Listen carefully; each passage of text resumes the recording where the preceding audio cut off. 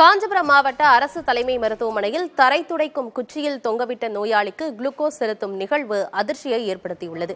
விவரங்களோடு செய்தியாளர் இஸ்மாயில் இணைந்திருக்கிறார். இஸ்மாயில் ஒரு அரசு தலைமை மருத்துவமனையில இப்படிப்பட்ட நிலை அப்படிங்கிறது ரொம்ப அதிர்ச்சி அளிக்கக்கூடிய விஷயமா இருக்கு. என்ன விவரம் இஸ்மாயில்?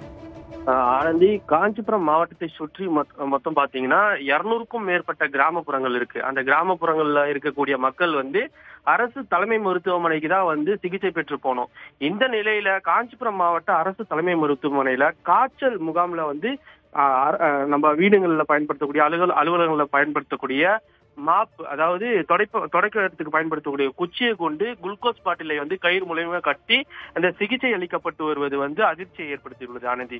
இது மட்டும் இல்லாம இந்த மருத்துவமனை நம்பிதான் இருநூறுக்கும் மேற்பட்ட கிராமப்புறங்கள்ல இருந்து காய்ச்சல் ஆகட்டும் விபத்தாகட்டும் போன்ற எல்லா எல்லா வகையான வியாதிகளுக்கும் வந்து இந்த மருத்துவமனையில தான் வந்து பொதுமக்கள் வந்து சிகிச்சை பெற்று செல்வார்கள்.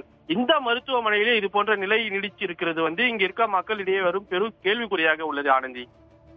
இப்போ மருத்துவமனைக்கு அதிக நோயாளிகளுடைய எண்ணிக்கை வர்றது வந்து ரொம்ப அதிகமா இருக்கு. அதனால இந்த மாதிரியான ஒரு நிலைமையா? இல்ல எப்பவுமே இந்த நிலைமை தான் அங்க காணப்படுதா?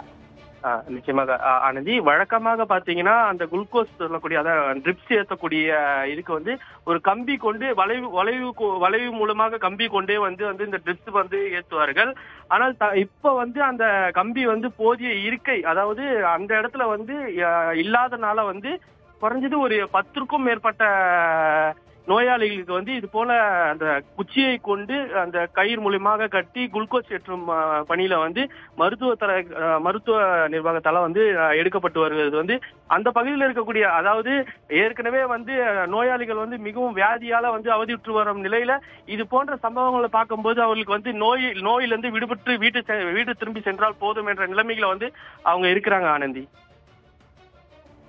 கூடுதல் தகவல்களுக்கு நன்றி இஸ்மாயில்.